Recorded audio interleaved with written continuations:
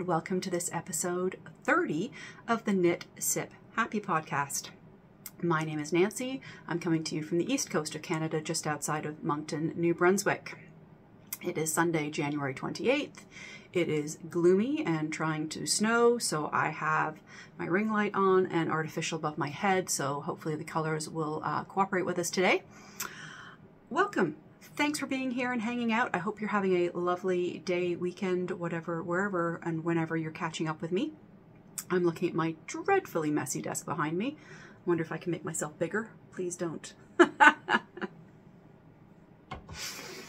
um, you can find me um, everywhere on the internet as Knit Sip Happy. Um, I'll put a screen up here on Instagram, Ravelry, Facebook, and email. Everything will also be linked down below under the More. In the description box is a drop-down menu, and that will have all of my links where to find me, and also links to my Ravelry project pages, and all of the makers I'm going to talk about today. So we've got mostly knitting, um, a little bit of cross stitch, and a little bit of spinning to show you. Not really spinning, hand spun. I am wearing, what am I wearing? I am wearing a ranunculus, but it is not a ranunculus that I have knit. So, uh, ranunculus by Midori Hirose, one of the most popular patterns on Ravelry, I am sure, for garments definitely, is uh, beautiful uh, loose gauge pullover. I'm sure you've already heard about it. I'm preaching to the choir, but this one has a special story. Um, if you've been around for a while, you've probably heard this. If you're new, you may not have. This was um, found at a secondhand clothing store. Uh, Amanda from Sweet Skein of Mine had posted on Instagram, this was a three, four years ago, maybe? Can't remember. Um, that she had seen this in a secondhand clothing store that she had gone into and she noticed it because it's her yarn. Uh, this is Fingering Weight Mohair, Sweet Skein of Mine. I believe it's the Cricket Cove colorway. Knit East colorway. I can't remember. Um, and it's beautiful. Pinks and greens, and it is the fingering weight held with the mohair. And it was at a thrift store. I can't remember how much money it was. $12? $12. It was in Fredericton. I live in Moncton, so that's almost two hours away. Uh, my daughter lives uh, close to Fredericton, just outside of, and my husband, lovely Brad, was heading up to Fredericton the next day to help Sam do something in her apartment, something renovation-y. I can't remember. And so I, I called the store and asked if they would mind holding it for me. And they said absolutely, and said that uh, my husband Brad would be in to pick it up the next day. And he did, and he brought it home. I washed it and blocked it, and I love it. It is um, three-quarter sleeves with the I-cord, which I don't have anything. I've always done mine full sleeves. Um, it's quite cropped. I'm not going to stand up because I'm wearing an ugly tank top underneath. And um, yeah, I, I love it. It's got a, a, few foibles. The, the short rows are a little off kilter, back and front, um, but only a knitter or me is going to notice that. So this is a lovely ranunculus that I do like to wear, um, layered uh, this time of year with tank tops or a blouse underneath, and uh, but I did not knit it. I'm also wearing um, my Easy Peasy socks. I'm going to put a picture of those in because I'm wearing them today for the first time. If you remember, these are the uh, Colorwork socks, my first full all-over Colorwork pair of socks and my phone is, I've got notifications coming up. I forgot to put my phone on airplane mode. I'll see if it bugs me. If it does, I'll pause. Little messages flipping across the screen. Um, yeah, so I'm wearing my Easy Peasy socks today. I'm also wearing my lovely stitch marker necklace from Jeanette Walker Jewelry in Prince Edward Island, and we're going to talk more about that later, um, about a potential gift away that will be coming up. So yes, let us head right into the knitting. We're going to start with finished objects. And I have a few, quite a few. So I'm going to start with this one because I'm going to insert some video. These are my Licorice All Sorts or All Sorts of Fun socks. This is the second pair. Um, if you have been around since uh, late summer, uh, when I went to England on holidays, I was knitting on these tubes um, all over my travels, different pubs and on trains and in queues. So I had done two separate tubes and I have done Afterthought toes and Afterthought heels. So I had a few questions and comments about the cutting in process. So because I had shown the first pair that I'd cut in um, last time and I gifted those to my mum and she is loving them. as soon as I showed them to her, she loved them um, and thankfully they fit. So um, she is wearing those in very good health. And um, I yeah, so I showed the first pair. This is the second pair out of this out of the um, same 100 gram sock set, and I just used black for the toes and the heels. So I'm just going to pause a minute here, and I'm going to insert a video of me um, separating the socks to put in the afterthought toes. That seemed to be the biggest the biggest question. So let's do that. I'm going to stop. I'm going to turn off the notifications because I have to stop anyway, and then we'll uh, carry on.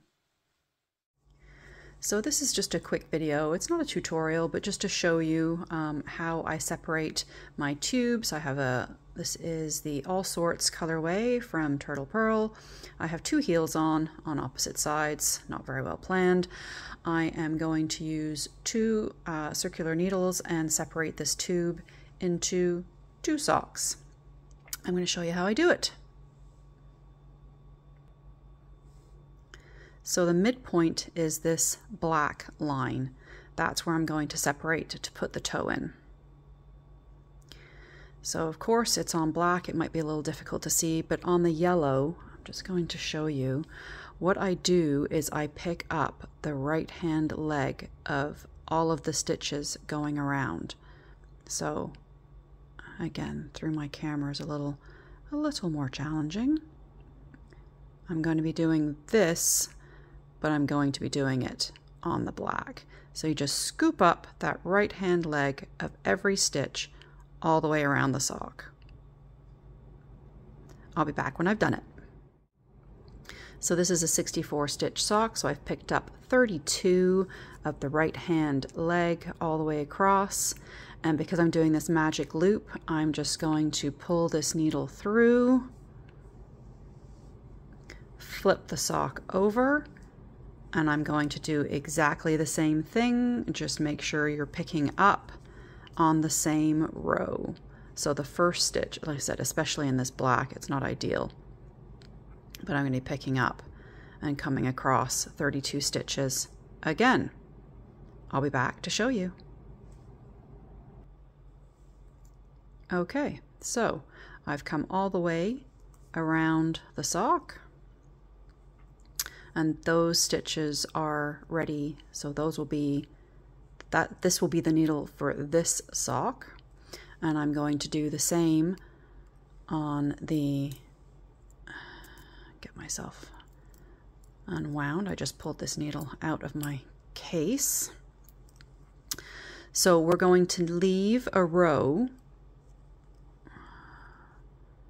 We leave a blank row and then we pick up the right hand leg on the, the row above. So we leave a full row and then I'm going to pick up the right hand leg above. Let me get started and I will show you. So I've started picking up the right hand leg. I've actually moved into the yellow because that's where my stitch my stitch pickup is and we've got this blank black row underneath. I'm going to have to figure out some better lighting. I might have to turn my ring light on to show you uh, the next step. So all I'm going to do is pick up the right hand leg of these stitches. I'll do 32. I'll pull the magic loop through and then I'll flip to the other side and pick up another 32 and I'll be back to show you what everybody freaks out about that heart stopping moment where you're cutting. So I will come back and plug my ring light in so I can show you that on the black properly.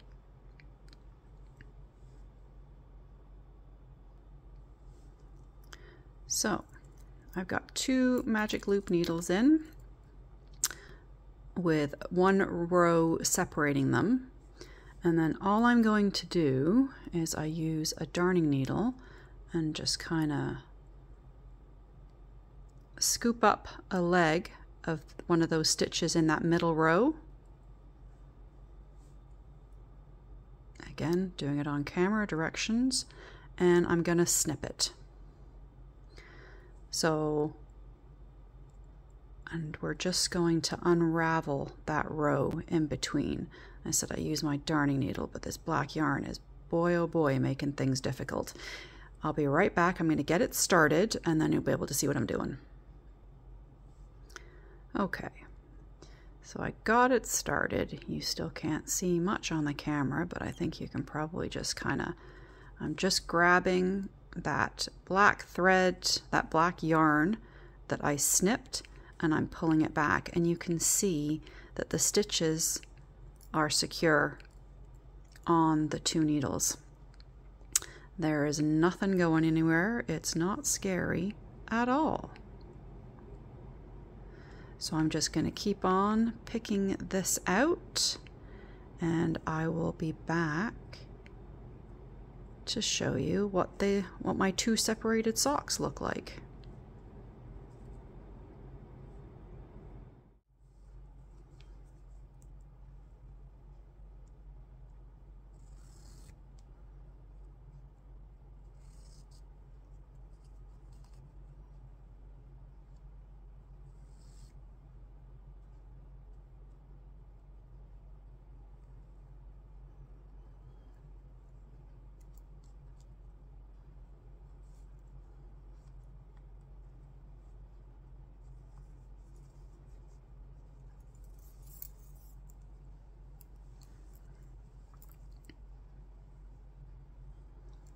And there we have it. I have two separate socks ready to pop a toe in. They're already set up for magic loop. That's it. So, finished objects, all sorts of fun. This yarn is from Turtle Pearl Yarns and uh, the lovely Emily is quite local to me, about half an hour away. I will have more of her yarn to show you later because as I've mentioned, um, she is coming into my local business and um, making purchases and we're bartering for part of it. So um, it's working out delightfully. I'm, I'm really enjoying it. Finished object number one. You've kind of already seen the mirror image of these last week. I'm just going to plop everything on the floor. Um, I also showed you, these were my Christmas Eve cast on. This is my Swiss Dot Shorty pattern, but we're calling them not so shorty because I've done a full leg. This is using um, Lily and Pine yarn. It was a sock set called Fireworks. I have it. I have the leftovers here, my cute little chestnut bag. So there is still, I haven't weighed the main color. There is still loads, not so much of the hot pink, but I can definitely knit uh, my daughter a pair of shorties. And they're still in the project bag, and I will tell you for why in a little bit. The leftovers are still in the bag. So that, um, I got that pair finished. I can't remember exactly where I was last time you saw me, but the pair is finished. And I can't decide if I'm going to save these to start wearing next December, next December, this December, um, for the holiday season, treat myself to them for the beginning of Advent, or if I'm going to put them into rotation now.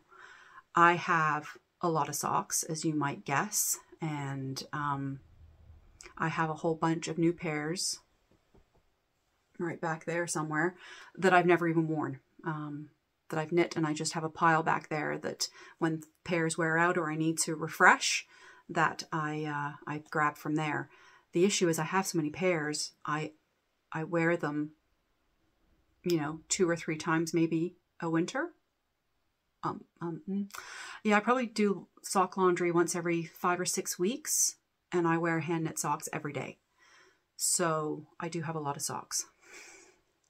Um, and to that note, we're gonna go off on a little tangent here. My friend Leanne, I was she, we were in her chat group yesterday. She's testing one of my patterns, and we were anyway. She showed this great picture of her socks, organized, freshly washed in these organizers, and I went, "Hey, whoa, what is that?" Because I'm storing mine in a Rubbermaid, just kind of in little rolls, but there's no dividers or anything, and it's um, drawer organizers from Amazon. So I promptly went on Amazon and ordered a set of three. So that's 24, 72 pairs. I don't know where I'm going to put them exactly. Brad has his thinking cap on about that, about ways he can mount them or something. Anyway, so I have ordered some sock organizers and when they come, maybe I'll record that, me sorting out. I'll do a, a, sock wash and I'll record a little, all of my socks and putting them in this new sock organizer. That might be fun. It'll be fun for me. um, yeah, tangent, tangent. I'll put the link below for the Amazon's um, drawer organizers with the dividers to put socks in if you're interested. And Swiss Dot Shorties, finished pair. Love them. Loved the colors. Loved working the pattern. I think it really controlled some of the pooling that was happening. And having that break with the hot pink mini. Uh, yeah, really enjoyed this knit finished object. I should probably, I should probably look at my list, eh? Um, the first Christmas present of the year is complete. These are man socks for my son Zach. I showed you, I was working on one of these last time. Uh, I really enjoyed working on these. I found the self-patterning quite fun. This was a new sock yarn to me. It's Wacky Sacky by Wisdom Yarns. What I didn't like, there were, I've come across two breaks in the yarn so far, and they were joined with a knot, and they were not, they were not knotted where the, the, the, the design carried on. So this one, it, it happened, the first one happened quite early in the first sock. So I think I may have pulled out some yarn. I can't remember. That was a few weeks ago already. Um, the second one has happened in a second pair I have on the needles. I'll show you in a minute. But I didn't worry about stripe matching on this pair. So they are siblings, not twins. But because of the break, look, right here, it started to match up again. You can see I've matched up again right here. Yeah, so that must have been where the break was. And so no, I didn't. I then just carried on knitting. So I did end up with a quite matchy-matchy pair of size 10 72 stitch men's socks. I knit these on my ChiaoGoo 9 inch circulars just because um, it was an easy round and round. I just put in a little um, garter panel down the side and in my Ravelry page on my notes, I think I did it three stitches at the I three knit three stitches, did the garter panel, knit all the way across, did the garter panel and three stitches, and then plain on the back. I did a contrast heel. This was Knit Picks Stroll something something that um, was in my stash that I thought went really well with it. So these will get stored up in my bin up there for uh, Christmas. Christmas 2024. That's one pair of man socks out of the way. I do try to get the man socks out of the way early. That way, if I get caught short and needing to knit some extra pairs, um, I don't have to worry about the guys. The guys are done. The other finished object that you have seen before, this is my Musselburgh hat. So Musselburgh hat by Isolde Teague. I'm sure you have seen this hat everywhere. It seems to be having a real uh, boost again. It was really popular about three or four years ago, and now it seems to have come back with a vengeance. So this is some hand spun. I knit mine on a three millimeter needle. Um, so if you're not familiar with Musselburgh hat, you cast on, do a small little pinhole cast on, you do the increases, and when you have enough that you can measure your gauge, you measure your gauge. And that tells you how many stitches you need to increase to. So I can't remember what size I ended up having to use, but on my three millimeter needle, it, it might be a little loose. I probably could have done a 275, but actually where it's doubled, um, I think it's good. So again, if you haven't seen the Musselburgh hat, it kind of goes inside itself. You take one end of the sausage and shove it in the other end of the sausage.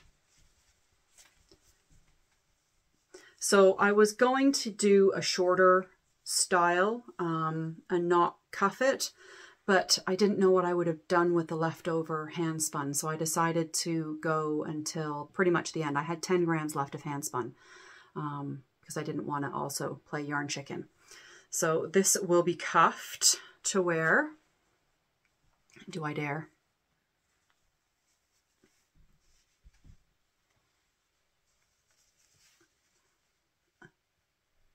So this is it cuffed. So it's double thick here, quadruple thick here. I'm not going to pom-pom it just because it comes out, but I'm also looking for a quite warm hat. So I don't wear hats a lot, but I thought this would be good to throw in my work bag if I get caught on a very cold night. I work until seven in the evening. So if I get cold on a get caught on a cold night without a hat with me, I thought that this in my work bag would be great to have.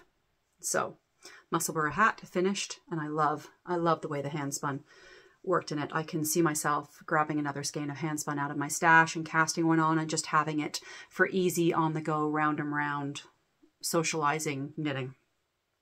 So finished object number four. Musselburgh Swiss stocked Christmas socks, all sorts. Okay, last time I was here, I'm gonna, I'm just gonna show these as finished objects, um, not spend a lot of time talking about them necessarily because I'll be talking about them in design chat toward, you know, in the mid-range. Oh, there will be chapters. I didn't mention that in my little my little blurb at the beginning. Um, I have chapters set up so you can skip sections if you don't want to see different parts.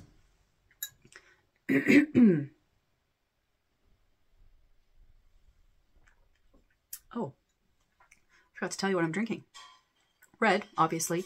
This is uh, Marselan. It's a Grenache Carignan uh, cross breed grape um, that comes from Languedoc, France. And it's delicious. It's one of my favorites right now. So when I was here last, I was saying that I didn't have a lot of design mojo at the moment. Um, that was beginning of December. I hadn't designed a new sock since um, October, November-ish. I think I designed Cricut Cubes in October. It came out in November.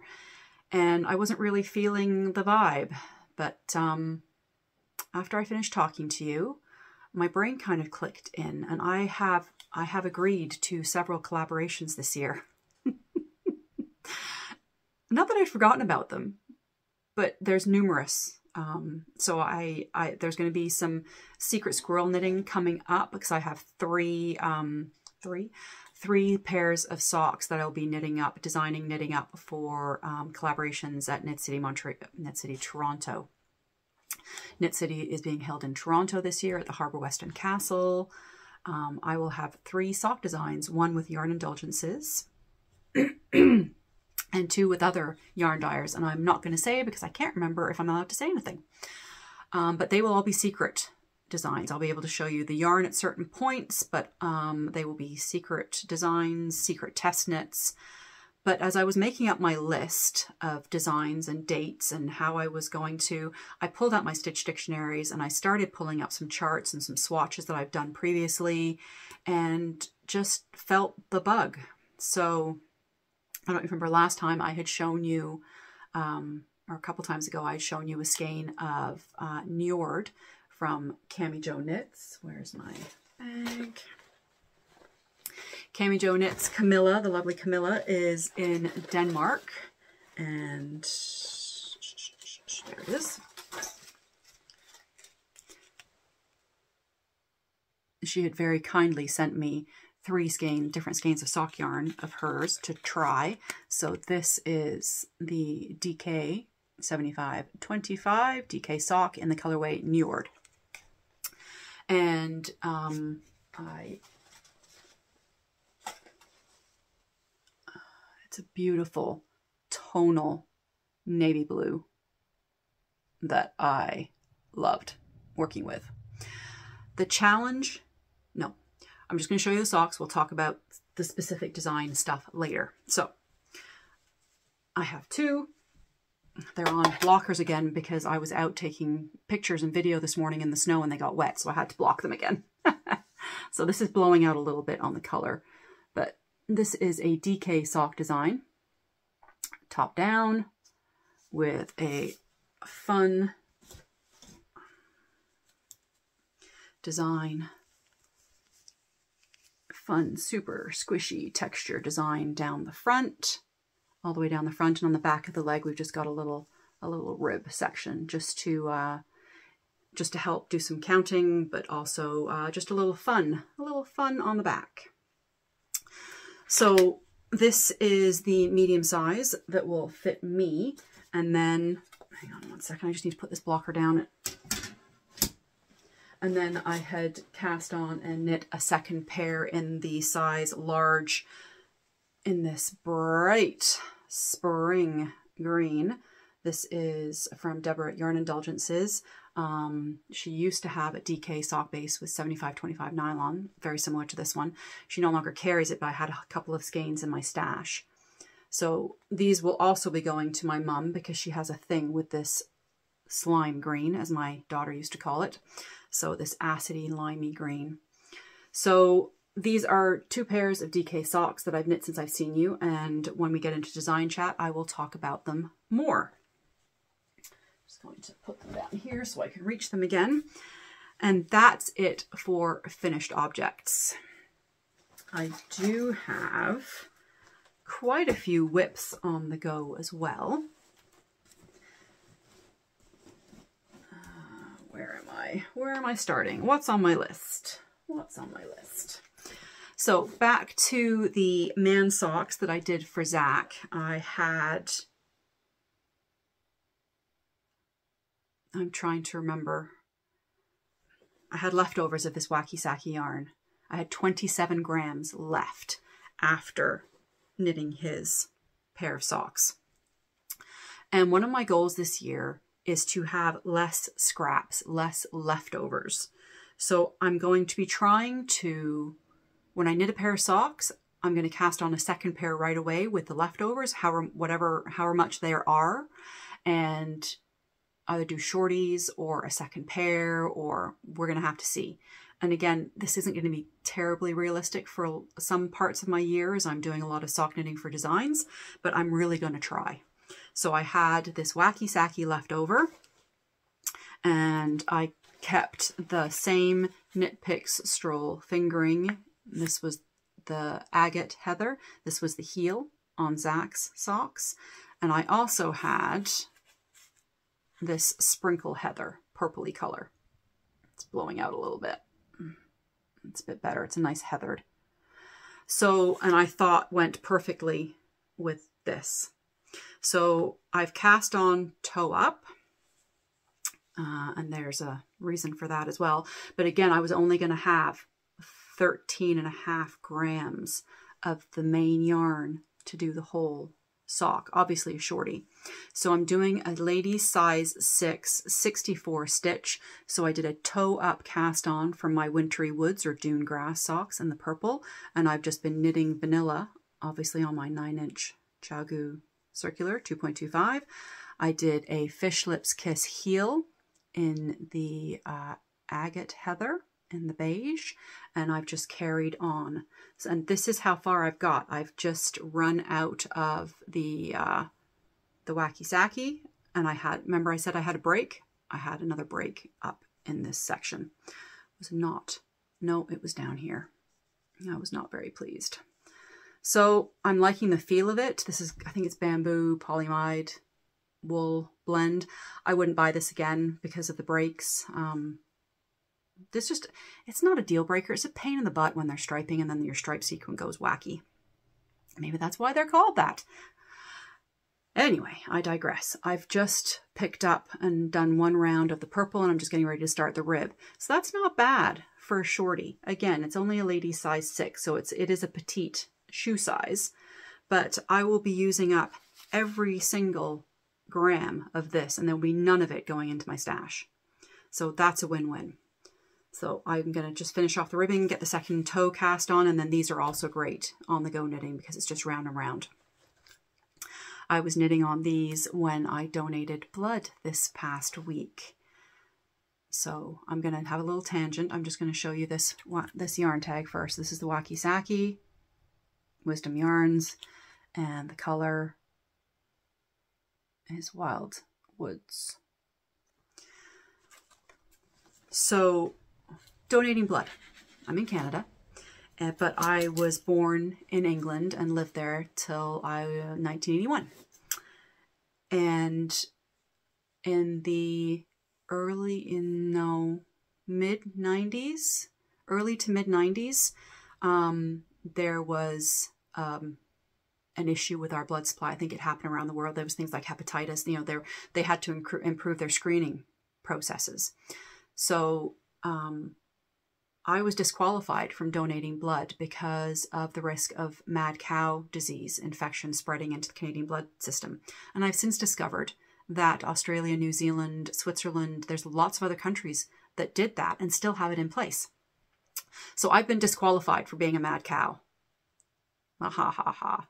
Insert laugh roll here. It's one of Brad's favorite jokes. Um, because I, I we lived in England and obviously would have eaten meat and you know it was just we were I was disqualified. So I was on Instagram or Facebook a couple of weeks ago and saw um, a post from um, Canadian Blood Services. I think that's what they're called. I think I might sneeze. Maybe not. Um, that I was able, if you had lived in England or France or Italy, I think was the other one. I can't remember. Several European countries, you were now able to donate blood. So I went on the website, registered, and donated blood for the first time in 28 or 29 years, I think we figured out. Um, no, maybe only 25. They, I didn't even think I was going to be in the system, but I had donated blood up until, I believe, 1996. Yeah, you don't need to know all this. But suffice to say, this came with me when I was donating blood um, because I got to donate blood again. Yay.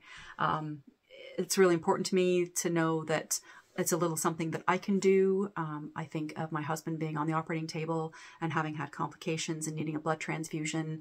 And um, I want to make sure that blood is there for anybody who needs it and going forward. So I will be a regular blood donor as long as I'm allowed to do it. There. We're going to go back to knitting now. um, I'm going to show you another pair of scrap socks I've showed you numerous times and I've already reworked um, this once. This is my leftover fairy lights from West Yorkshire Spinners in my amazing Love a Good Fingering bag. The maker had closed down their original shop, but they still had a shop that carried these bags. I will try to link it below. I was told they don't have any in, um, but you could always try messaging them. I'm not sure where the status is on that. But you'll always get a big joke out of this bag. And this bag will always remind me of my dear future son-in-law, Rob, who blushes every time he sees it. All right, that was the humor. Back to my tale of woe. I had done the first sock. I'd run into problems. I'd ripped it pretty much all the way back and restarted it. And I have got the second sock on the needles. I did top down, not toe up. That is a rookie mistake and I am out of yarn. I am out of West Yorkshire Spinners. And I am two stripes short. I'm missing a green one and another mixed one.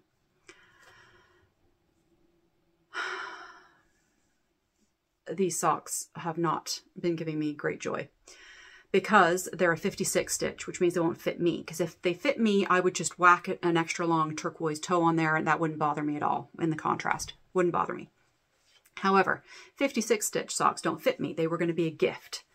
And um, I would not gift that because, yeah. So, I may, you know, my brain just clicked in. I may talk to my local knitters and see if any of them have two grams they could spare me.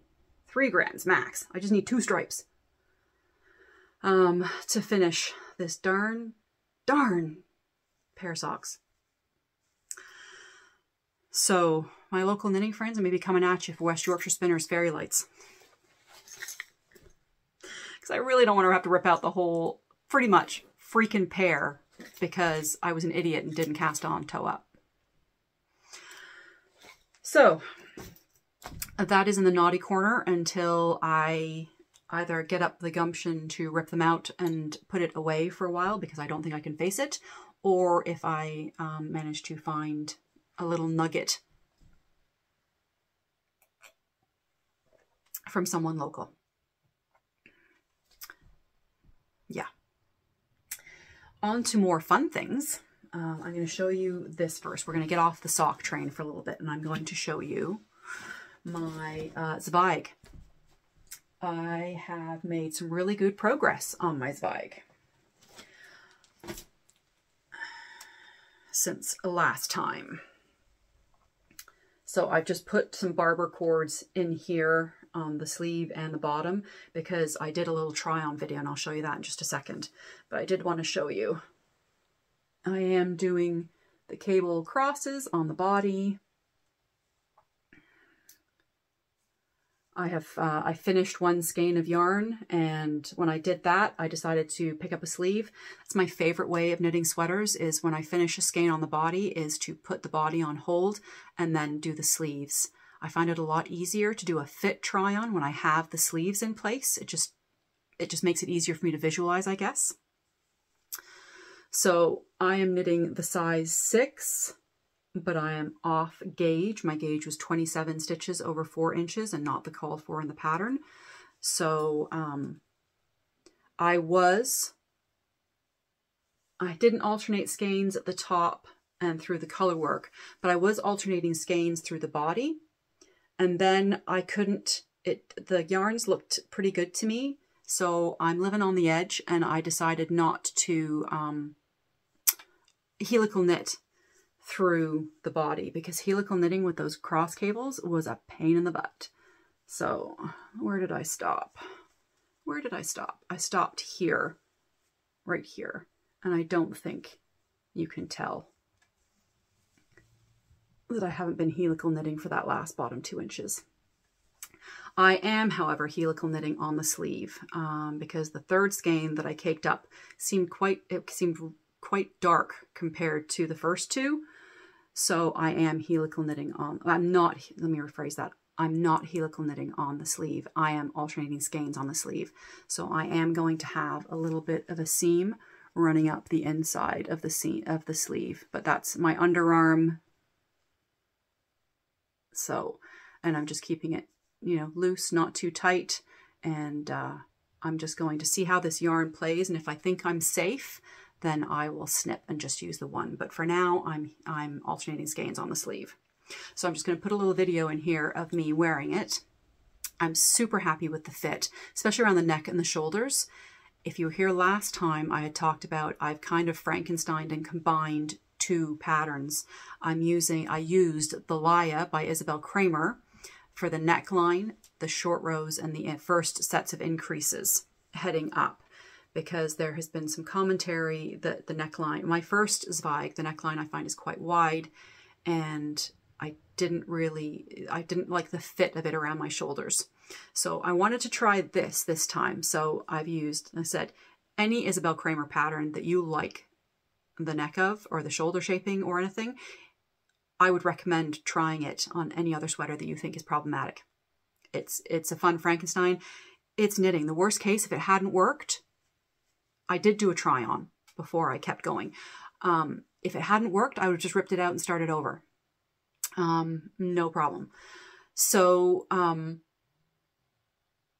as I said, I was, I'm doing the size six, which is going to be actually smaller because my gauge was tighter. So I, am actually going to work out to be, I can't remember what the finished um, bust size is going to be. Um, but I'm really happy with the fit, as you can see, and this isn't blocked, so I will get a little more out of the blocking. And uh, I have to decide if I'm going to do my A-line shaping because I am doing the cross cables. I have a feeling I am not going to be doing my A-line shaping because those increases are going to disrupt the cable cross and I think it would be not more noticeable further down my body. Still thinking about that. um, what else did I need to say? Oh, the yarns. I am using, the main color is Circus Tonic Handmade in their Jubilee sock, I do believe, in the color Moon Shell. I'm looking to see if I have a tag handy. I think it's back here. Oh yes, there it is. Circus Tonic Handmade.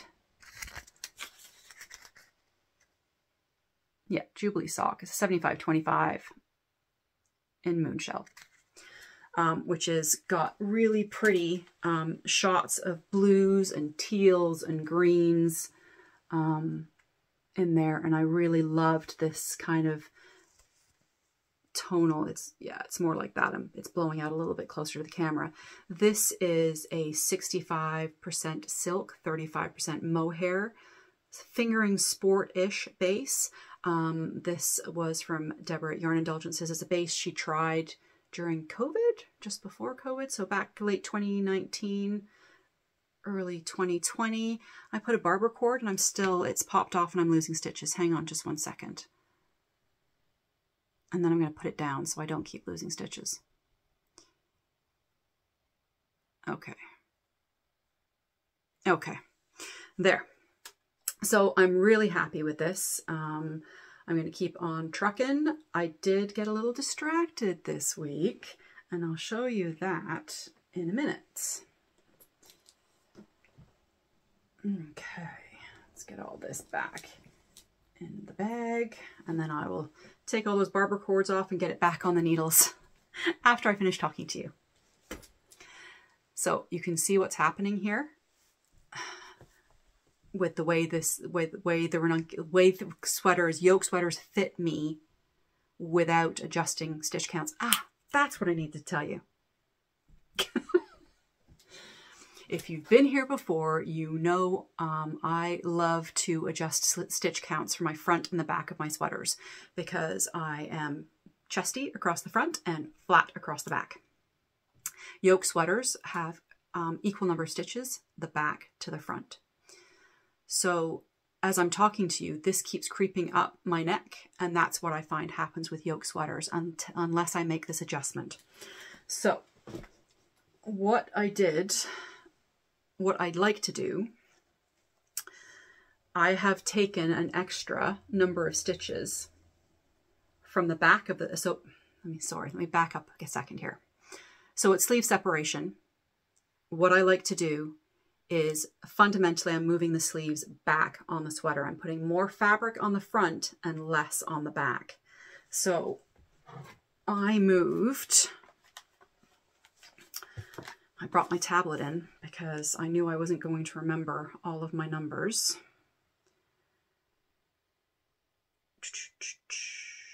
I moved. I'm an idiot. I didn't write it down. Okay, I after editing me, I will count the number of stitches on the back versus the front and I'll put it in here.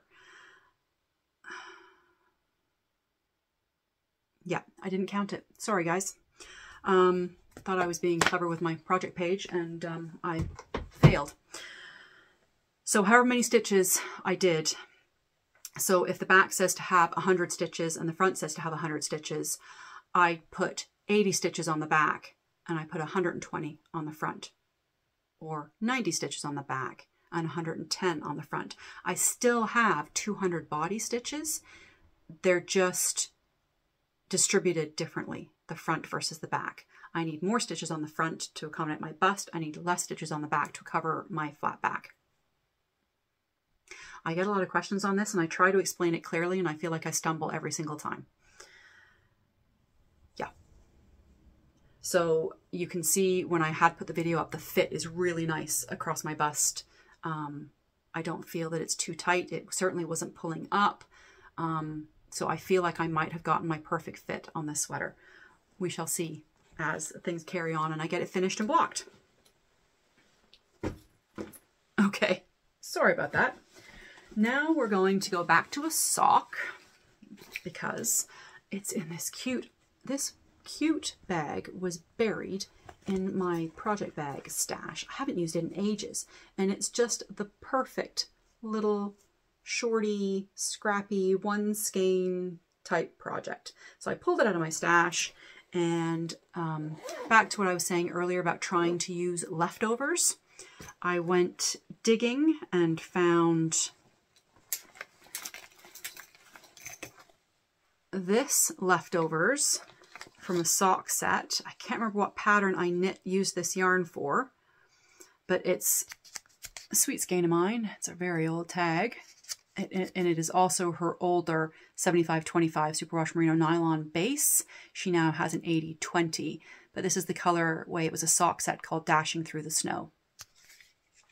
So it's super soft, bluey grays, but little pops of kind of um, rust and navy blue. And uh, yeah, it's really pretty. And I had loads of it left. So I can't remember what I knit up with it. So I decided to um, grab some navy out of my stash to make a fun pair of shorties. I did these ones cuff down again because I've got loads of yarn. I got no worries about running out this time. So I am knitting the Shooting Star sock. Can't remember who the designer is. I'll put the information here and it'll be linked down below. It's just a fun, it's supposed to be a two round repeat. I stretched it and made it three and put an extra knit round in between.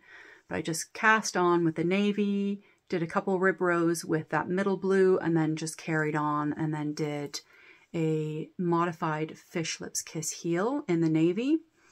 And by modified, I mean um, this is a 32 stitch sock. So on the last row, um, I increased up to 36. Then I followed the fish lips kiss heel instructions for the 36 stitch sock. And at the end, I picked up one extra stitch in the in the space where you joined because sometimes I find that can get stretched out and gappy.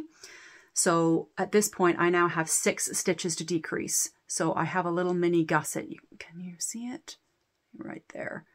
I just did three gusset decreases, alternate rounds, to bring me back to my 32 sit, stitch sock on both needles. So 64 stitches, excuse me, 32 on back and front needle.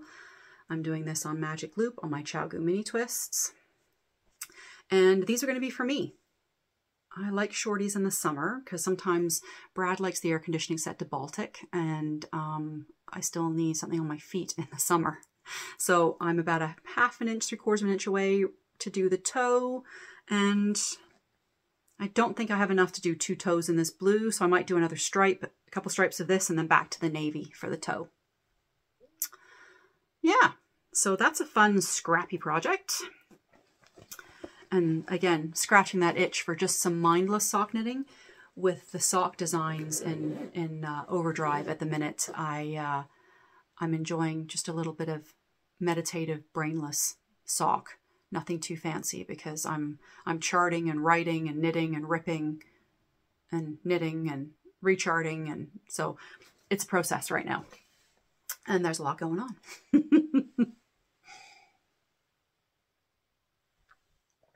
last but not least, for my WIPs, my knitting WIPs. If you have been following me on Instagram for the last week, you will have seen this glorious knit.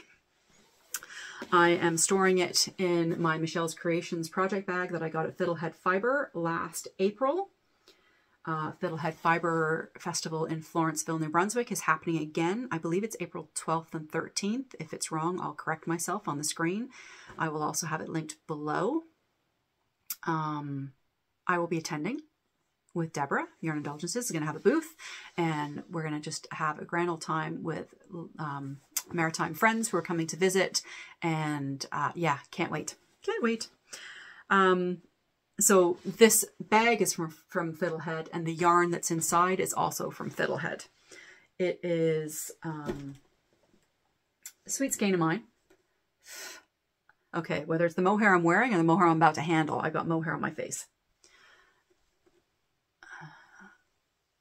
Let me just, are you going to blow out or are you? No. So this is Sweet Skein of mine. Raspberry jam. That's the color back here. It's a little deeper and darker. And this is um, the newer sock base, the 8020 high twist. And this is Yarnia. So I bought these two from Amanda last April for uh, ranunculus. Of course, why not? I bought two skeins of each. I know I can get a decent sized ranunculus for myself out of two skeins of each, four skeins total. And that's what it was sitting in my stash to be. And then Sophie, lovely Sophie, the first mention of Sophie this episode. lovely Sophie, um, knit a Wilfreda by Wenche Roald, I believe. I apologize on the pronunciation. Um, I'll put a picture in here of the designer's version. It's got a very ranunculus vibe, Sophie said. It actually has the same stitch gauge as ranunculus and a really pretty yoke design, as you can see. So I cast caution to the wind and used 5.5 millimeter needles, which is what I use for ranunculus to get the gauge that I like. Didn't gauge swatch because I know the gauge I like on this yarn combination. I've knit with it before and it was the same gauge I was looking for, so I just cast on. And once I got a certain way through in the stockinette, I measured it and yay me, I got gauge. So I carried on. How am I going to show this? Because it's on short needle, it's on a short circular, and of course I don't have stitch stoppers on the end of my needles. Living on the edge. All right, that's the back. So I have, oh, let me just, I'm going to insert a picture here of it so you can see the color a little better because I can already tell my lighting is blowing it right out. Um, Raspberry Jam is looking more like nightclub neon. So it's a again a traditional yoke sweater. So cast on. Um, I tried the alternating cable cast on for the first time Kelly the Tangled Stitch and Noelle, um, Noelle Knitter from the Knit Chat Cafe Tuesday night podcast. I don't very often watch it on Tuesday nights, but um, I caught up. I, they've been raving about this alternating cable cast on, that it was a great match for the Italian sewn bind off, which I like to do on my cast offs, bind offs. So I found a great tutorial on YouTube. I will attach it um, and put it in the description box below. And it was a little fiddly because I had missed a trick apparently. I did the alternating cable cast on, which gives you this nice kind of rolled faux tubular edge, but still nice and stretchy. I had done that cast on and then joined it in the round right away. Uh, Kelly, Tangled Stitch, had commented on my um, story or post, I can't remember, and said it looked great. And I'm like, any tips? Because that was a complete nightmare. I think I had to do it four times because I kept twisting, the, the cast on kept Mobiusing and it was really hard to tell just the way that the stitches are oriented. I couldn't tell if it was twisted or not. And I get to the end and curse words, mutter, mutter, it was twisted. So this was the fourth attempt. I got it without twisting it. Super happy. I just went on and did my usual one by one ribbing. Went through, did the short rows, um, to lift the back up. I think I did one extra set of short rows because I do like the back up a little higher and the front a little lower. And got to, I think I was just starting this and looked at the pattern and realized that this should have been twisted ribbing. Insert more curse words, mutter, mutter, mutter. I did a poll on Instagram I really didn't want to because if I if I pulled the ribbing all the way back to that first round, I would have had to start the cast on all over again. My ribbon, my one by one ribbing is pretty neat. Um, it doesn't really bother me that it's not twisted. I just have to remember when I get to the sleeve and the bottom of the sweater, don't twist it, Nance.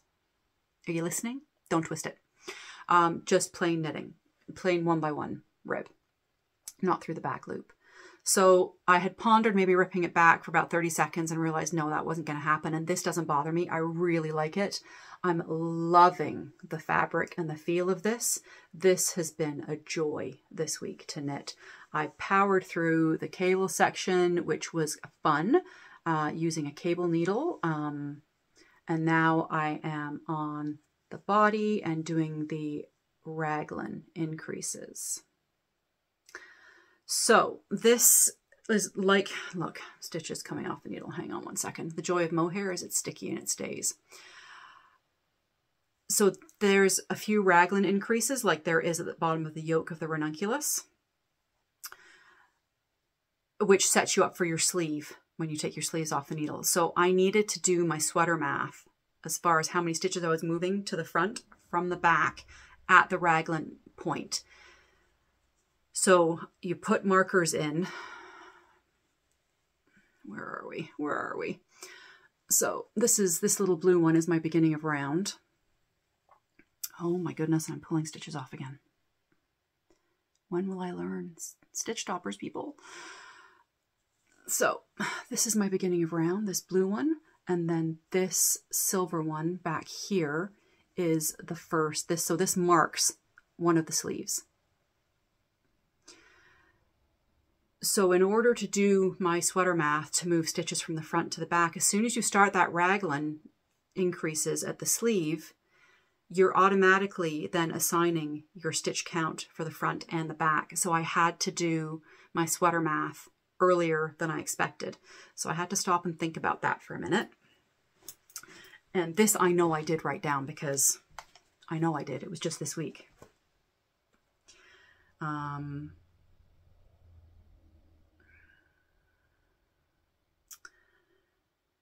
So I took eight stitches from the back of the, the sweater to put it to the front of the sweater. So four stitches per side. And at a 16 stitch gauge over four inches, so that's eight stitches, that's two inches more. So I did, like I said, did it separations for raglan, and that will give me the space. I haven't tried it on yet. I won't do that until I've separated for the sleeves and got a couple of inches down to have a look and see how I feel about it. If I don't like it, I'll rip it back and redo it because seriously, it's been so much fun. Um, yeah, I'm really, really liking this color too with, with the gray hair. I, I think it looks really nice. Um, I'm doing my usual why these stitches are sliding off the needle so easily. If you have an internet interchangeable needle set, I need to slow down.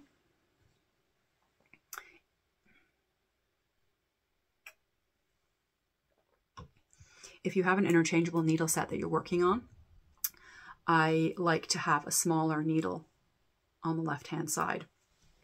So when you're knitting, your, your right-hand needle is what determines gauge. Your left-hand needle is just a feeder needle.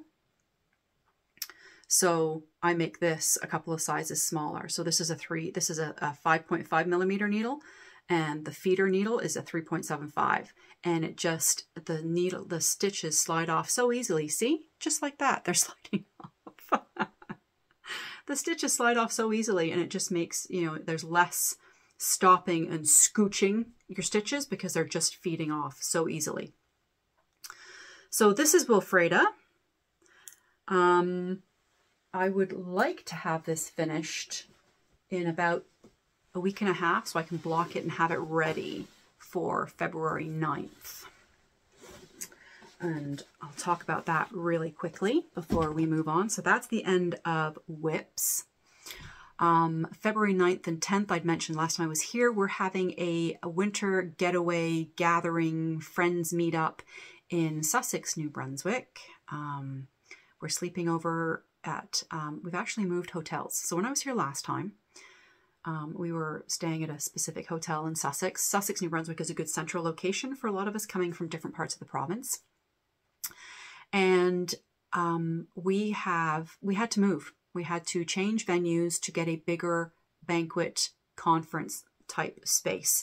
We had so much interest um, through Instagram and Facebook and uh, chit chatting with friends and um, that we've had to move venues and that's so exciting that, that we're going to get to meet i'm going to get to meet some new nitty friends i'm going to get to hang out with some my nitty friends i've had for quite a while um, and i'd really like to have wilfreda finished. There's a few of us knitting zweig and somebody proposed last night um, that perhaps we could all have our zweig ready. There's no way i can have that ready in two weeks. There's absolutely no way in the world.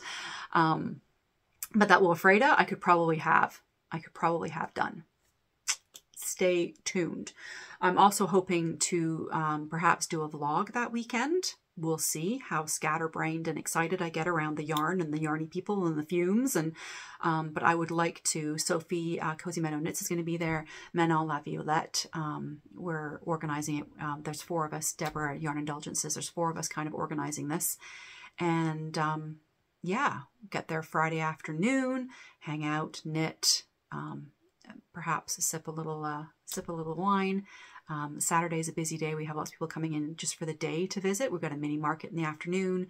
We've got a beautiful discount from Legacy Lane Fibers, who have a shop in Sussex. Um, we've got things organized and planned, a group dinner together in the evening. If you are in the Maritimes, in New Brunswick, even in PEI, Nova Scotia, we have some people coming from um, there from out of province, but we're all, it's all so close in the Maritimes. If you're in the Maritimes and interested, um, we have room in the conference and banquet space. There are no more rooms at the uh, motel where we're staying, but there are lots of other options of uh, places to stay in the little town of Sussex. If you're interested, message me down below or send me an email and I will get you that information. Actually, I'm also going to include, we have a new website. Thank you, Deborah, our IT, our IT guru atlanticyarnfiber.ca. It'll be on the screen. I'll have it linked below if you're interested in more details about our little winter gathering getaway in less than two weeks. I'm going to get to hang out with all my knitty friends for two whole days in less than two weeks. Can't wait. So that's the end of the knitty content. Yeah.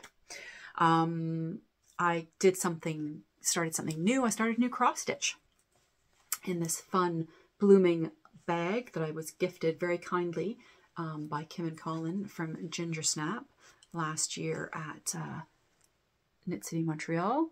I had done a uh, my blooming lovely socks are back there in the ugly background. I forgot to put socks up there. Goodness, I was in such a rush today. Um, I decided to start a new little um, seasonal cross stitch. I will put a picture of it up here. It was a little freebie on the Insta On uh, I just googled free Valentine's Day cross stitch, and this cute little gingham heart, and there's the word love going to be down there. So I'll put the picture on and I'll link it down below if you're interested. But I just thought this would be a fun little gift for a special friend. So I haven't touched it in about a week because Wilfreda got got me. I got addicted to Wilfreda. And uh, the cross stitch didn't get picked up this past week. So I do need to get back to that if I'd like to have it for Val and get it to her for Valentine's. Then we're going to do a little bit of spinning chat. I don't actually have any spinning per se. I haven't done anything on the wheel, but I did want to show you I finally, finally measured and weighed and skeined up the um, the spin that I had done over the summer of the Mahusive uh, bat that I showed you, this rainbow bat that I got from Belfast Mini Mills. Um, I had gotten so excited with the spinning of it, I hadn't weighed the bat when I stripped it out, when I tore it in half and thought, oh, this is one half, this is another half. And I stripped out the colors and I was going to do um, spin two plies together because I ended up with 109 on one and 97 on the other. I didn't have equal weights. I didn't want to waste the yarn, so I decided to chain ply it. So what chain plying has done, it's a three ply that you chain back, ply it back on itself. So it kept the striping sequence in place. And that's kind of nice too. And I've got two skeins of it. Uh, one has more of the orange red, one has more of the blue green, again, because I didn't split it evenly. So whether these go into a project together or a project separately, 109 grams, I got 310 yards on this one. And I got 363 on 97 grams. So this one is also spun finer.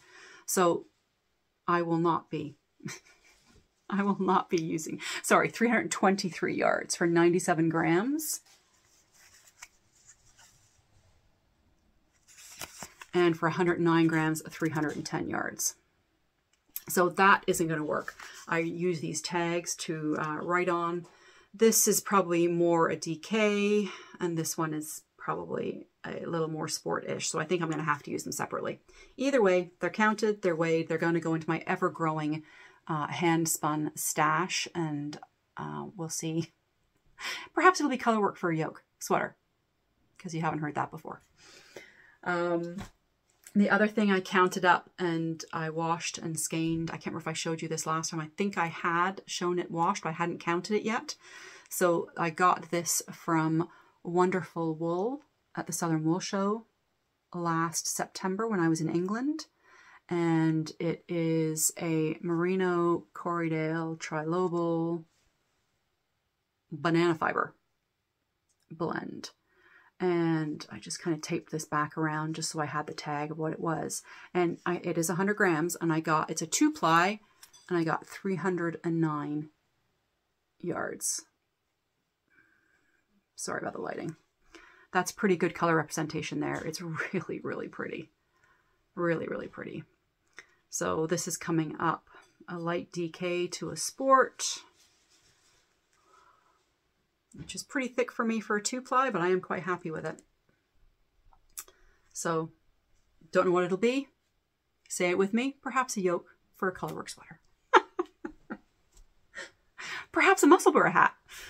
The problem is I'm not a big hat wearer, so I can't keep knitting Musselburgh hats out of my very precious hand spun because I'll never wear them.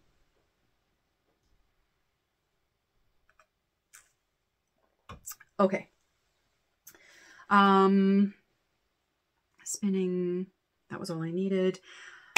Let's go back. We're going to do some design chat. And I fully recognize if you were not interested in socks or my sock designs, please skip on ahead. There's a few acquisitions uh, coming at the end. To be fair, acquisitions I haven't bought, yay me, um, but they've come into my life anyway. So, um, we talked about this sock briefly in Finished Objects. This is the Njord sock. It's a DK sock, cuff down, heel flap and gusset, down to my rounded toe. So this pattern will be releasing on Tuesday, January 30th, and um, will be on Ravelry. Lovecraft possibly a couple of days later. It takes a little longer for that to come up. I will, this podcast is going to go up before this sock is um, live. So once the sock goes live, I will either do a community post or I'll do a little short to post and let you know. And I will edit the notes at that point. And I'll put a link into Ravelry if you're interested in the pattern.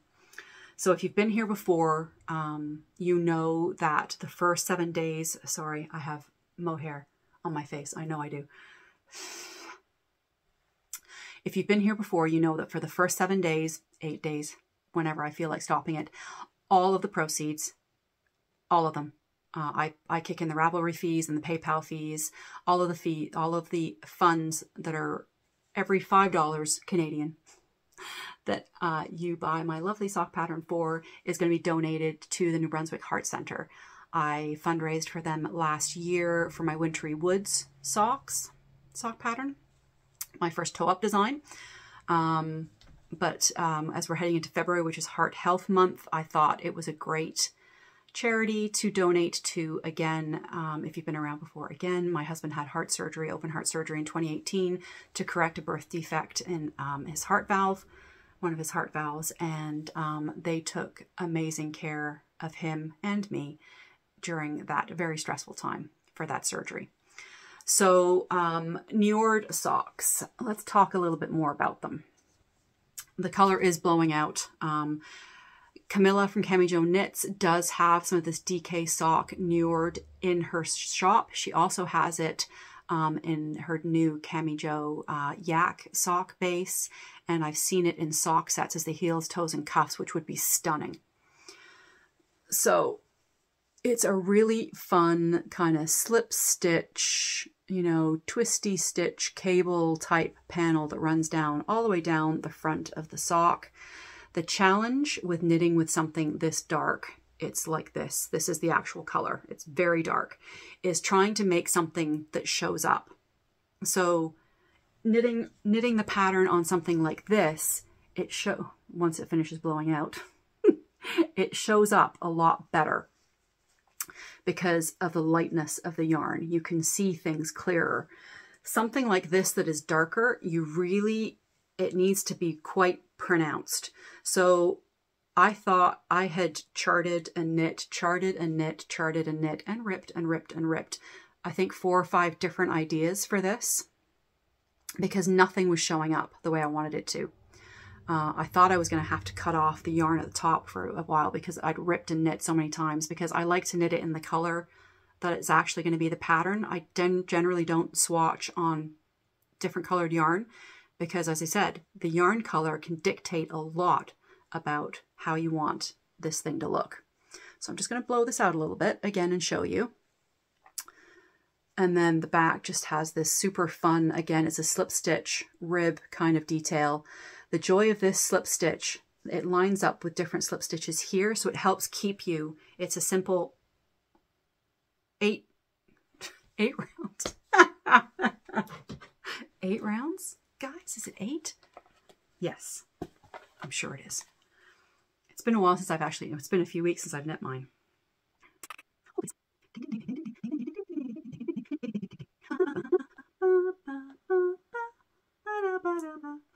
It's four rounds. That was my initial thought. And I thought, no, it can't be. Problem is I've got two other samples on the needles and I'm getting mixed up. It's a four round repeat. It's so easy and meditative. And once you get the rhythm of it, um, which is my total favorite way to knit a sock, um, it's a little bit of interest, not so much that you really have to pay attention, but enough that it keeps you engaged, that you don't end up on, end up on Instagram because you're just knitting round and round and vanilla bores you to tears. If you love vanilla, awesome. This is my kind of vanilla with some texture. So, Njord Heart Center Cami Jo Knits has it in stock. Um, I think that's everything.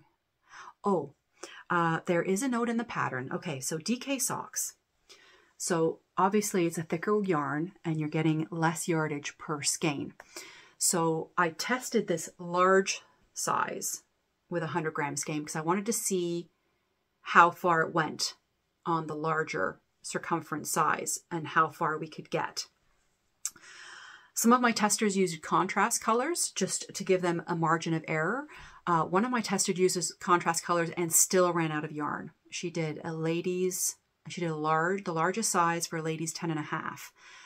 Um, so there's going to be notes in the pattern that if you're above a certain size on the size large, I'd really recommend uh, contrast heel toe, heel, heel toe, cuff toe, or all three, depending on if you have if you have anything over a lady's size nine.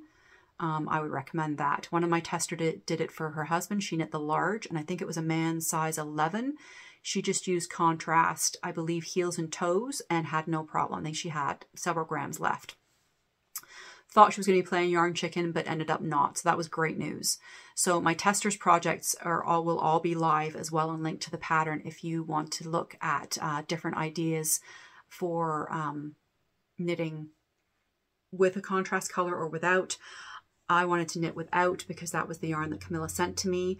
I knit a size large no I didn't. I knit the size medium and I had nine grams of yarn left.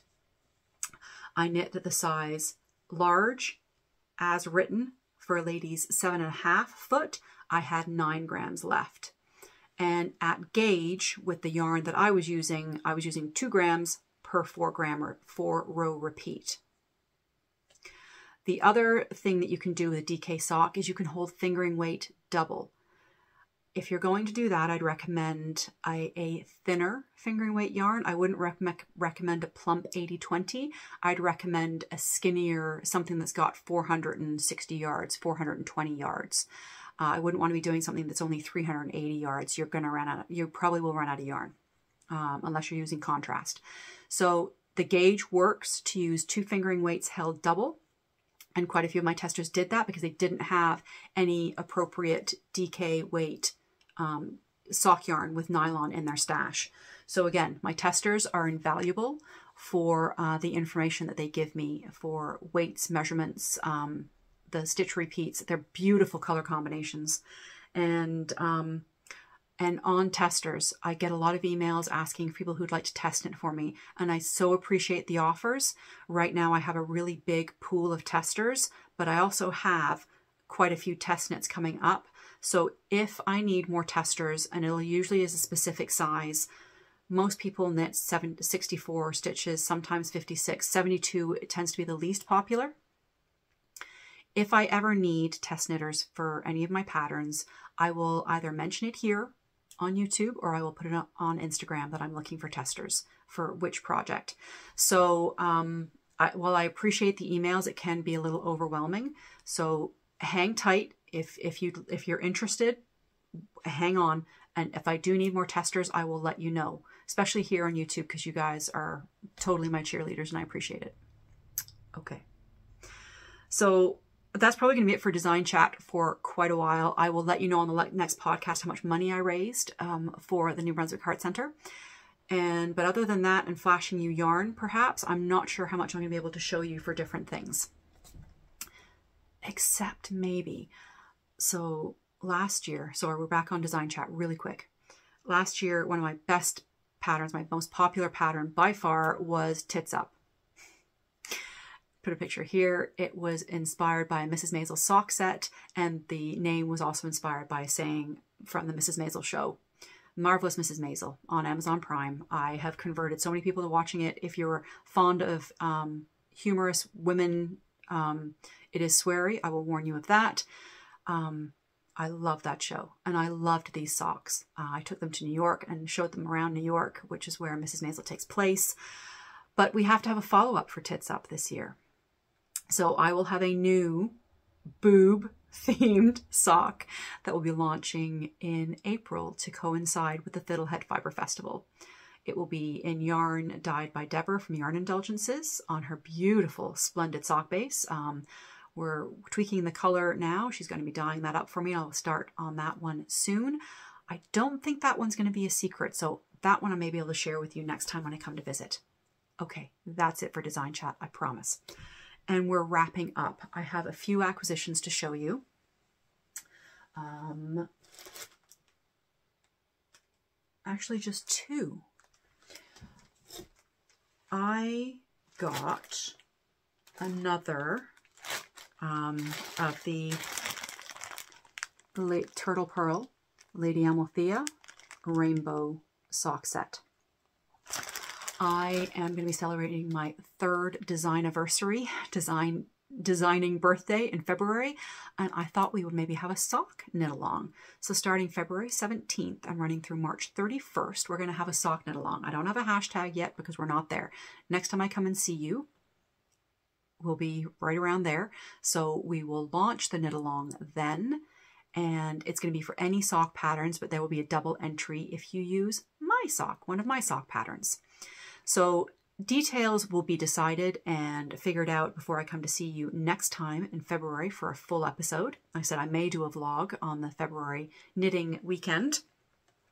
But I got this from the lovely Emily in our barter to use as one of the prizes. There will be prizes. So that is still in its plastic bag waiting for you guys. And then the other thing I got that was very kindly gifted to me by Deborah from Yarn Indulgences.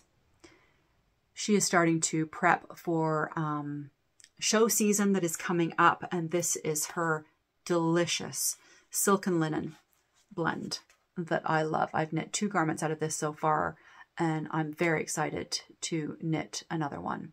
I've got two skeins. This is Silken Linen Fingering. It's a very, very good yardage.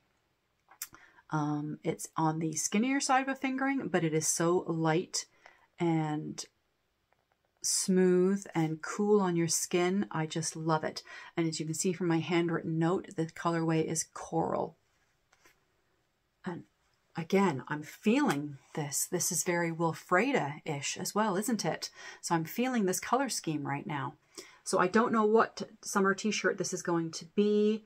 Uh, I probably won't start this until probably April-ish, May-ish, because quite frankly in the Maritimes we don't actually get spring and summer until June, July if we're June if we're lucky. July most likely. So um, this is on my radar and I will be looking out for any fun new t-shirts. And if you have any ideas um, that you haven't seen me wear or make, um, pop your t-shirt ideas down below. I'd appreciate your opinions. So that is the incoming goodies. Like I said, they weren't purchased technically. This was gifted very kindly and the turtle purl was also part of my barter that I'm doing with Emily.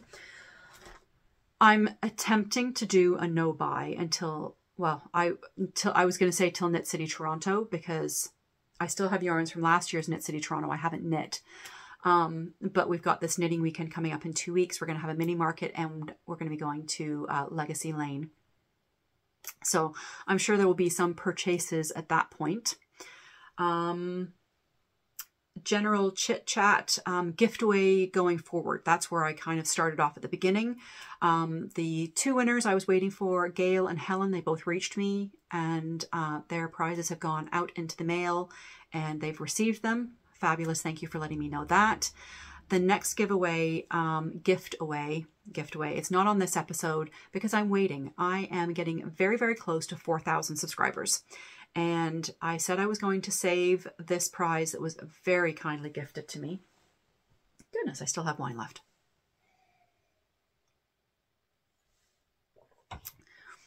I purchased my stitch marker necklace from Jeanette Walker at uh, Prince Edward Fi Fiber Festival. And then this week, she sent me, hang on, through Sophie, this beautiful pair of earrings that match my necklace.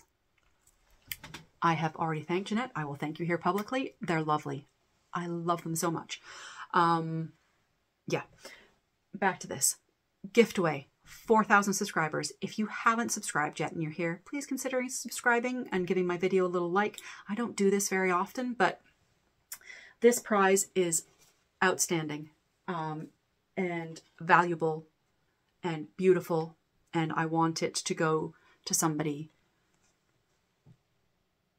so Jeanette Walker, she is on Prince Edward Island. She is coming to the February Winter Gathering weekend, and I can't wait to spend some time with her and sit and chat. Um, get sent me when she sent me the chain for my mine. She sent a whole other necklace for me to be able to give away to you guys. So the chain on this one is what she's going to be selling. It's different from the one that I have. Um, but I actually, mine is a skinnier one because I usually just wear it up here. I don't put the extender on. I wear an apron at work, which comes to here. So just on this chain, it fits perfectly kind of up here. I kind of have it up here. I take the extender off. I have it up here. And, um, but I really like the look of this chain. So I've ordered one from Jeanette and she's going to bring it when I see her in February. But this is what we're going to be gifting it's a gift from Jeanette through me. It's a beautiful stitch marker progress keeper set on this adjustable silver chain with and bee themed. You can see the bee progress keeper there. There's end of round and then there's just regular stitch markers. So when I get to 4,000 subscribers, we will have a gift away. So if we get there before the next one, it will be on the next one and I will do a draw from comments for this beautiful stitch marker necklace. And thank you again to Jeanette for the lovely donation. So I don't think 4,000 is too much to ask for that, is it? So as I said, if you haven't subscribed, please do. And once we get to 4,000, I will do that giveaway. We'll have a prompt and we'll do it here on the YouTubes. And uh, this beautiful piece of knitting jewelry will go out to a lucky winner. All right. I think that is it. Uh, it's January. I have been, um, our business is a little quieter this time of year, so I've had some extra time off. Um, we've been doing paperwork and cleaning and all the fun knot stuff. Um, it's typical January retail month. Um, yeah, we haven't had too much snow little annoying bits here and there. I was going to take a walk through the woods this morning and I didn't get very far because it was a lot deeper than I thought and my boots filled up and my ankles got cold and I turned around and came back in. so there might be a little bit of footage of that. Um, the woods look beautiful. They're dusted with, with uh, a little bit of snow, which is very pretty, but it's prettier for me on the inside. I don't own snowshoes and I'm too klutzy to, to ski. Okay, I think that's everything. It's everything on my list. Um, we are long again. I'm sorry. And no, I'm not sorry. I love coming to chat with you guys. Time just flies, and I can't believe I'm still talking after this amount of time. And if you're still here, cheers and thank you. Um, I wish you happy knitting over the next three weeks or so until I see you again. Um, don't forget my Njord sock will be out. Um, if you're in the market for a new sock pattern, I would appreciate it. If not, if you could share my posts and let your friends know, that would also be super, super helpful. Okay, that's enough. I wish you happy knitting, happy sipping. I will see you in three weeks. Cheers.